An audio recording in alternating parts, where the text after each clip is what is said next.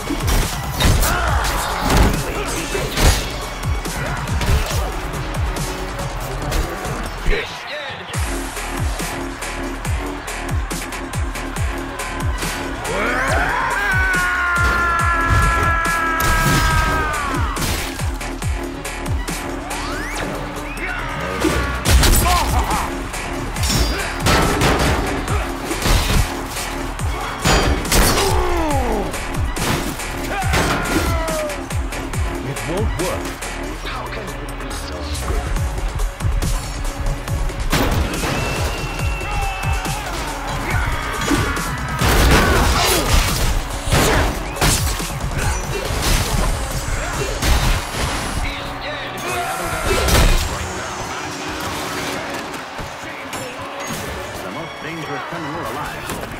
There's so much more to conquer.